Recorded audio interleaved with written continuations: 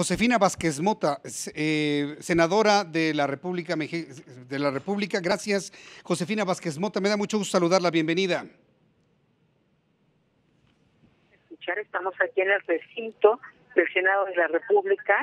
Eh, todavía no hemos entrado a la discusión justamente en la exigencia de reponer el proceso para la elección de la presidencia de la Comisión Nacional de Derechos Humanos. Y lo que nosotros advertimos, no obstante que el grupo mayoritario de Morena ha señalado que se va a repetir esta votación como corresponde para cumplir cabalmente con la Constitución, aún no entramos a este momento que exigimos sea con estricto apego a lo que la Constitución ordena, eh, que es que de los senadoras y senadores presentes las dos terceras partes se requieren para lograr una presidencia en la Comisión Nacional de Derechos Humanos y también que se haga con absoluta transparencia. Josefina Vázquez Mota, ¿el proceso se va a reponer el día de hoy o hasta el próximo jueves? ¿Cuándo lo tienen previsto? Eh, ¿Hoy mismo? El propósito es que hoy mismo se tiene que reponer este proceso. Este es el compromiso que se ha hecho.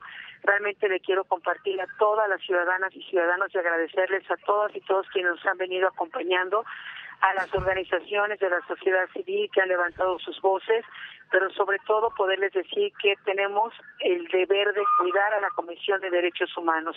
La Comisión de Derechos Humanos que tiene la encomienda nada más ni nada menos de atender a miles y miles de víctimas en nuestro país, de atenderlas con autonomía, de atenderlas eh, sin parcialidad, de atenderlas a, para tener acceso a esta impartición de justicia. Y evidentemente fue muy lamentable, muy vergonzoso que en la votación del jueves pasado no solamente no se cumplió lo que mandata el artículo 102 de la Constitución, sino se pretendía llamar a clamor protesta a alguien que estaba violando esta constitución, es decir, cómo impartir derechos humanos o hablar de ellos cuando se está violando la constitución.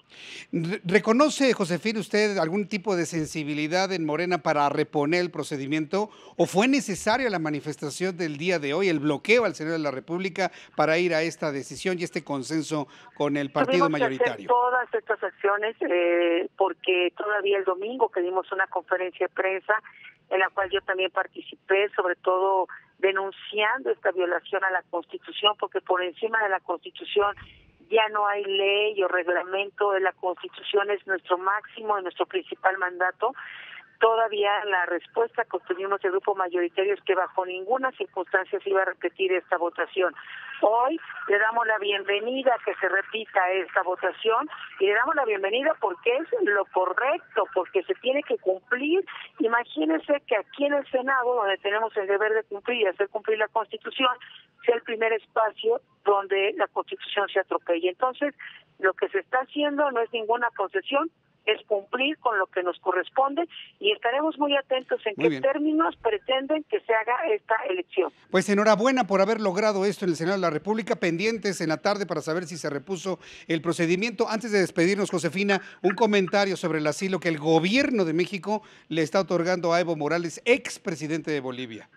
México siempre ha sido un país de brazos abiertos, pero en este caso quiero señalar dos asuntos muy delicados al menos. El primero que el señor Evo Morales viene de una elección donde se hizo fraude, donde eh, la pretensión que él tuvo fue alargar su mandato, lo cual fue ampliamente rechazado por su población y todavía recuerdo, me parece que fue muy desafortunado, por decirlo menos, que cuando se dio este aparente triunfo, el gobierno de México lo felicitó sin tener la certeza de la limpieza misma que ya fue demostrada que no tuvo este proceso electoral. En México siempre había recibido a pues exiliados de países de víctimas de dictaduras. Hoy estamos viendo que se recibe a una persona que ha cometido un fraude electoral en su país, lo cual nos parece muy preocupante. Bien, Josefina Vázquez Mota, muchas gracias por estos comentarios para el Heraldo Noticias. Buenas tardes, Josefina. Muy buenas tardes, hasta pronto. Que le vaya muy bien, hasta pronto y vamos a estar en comunicación.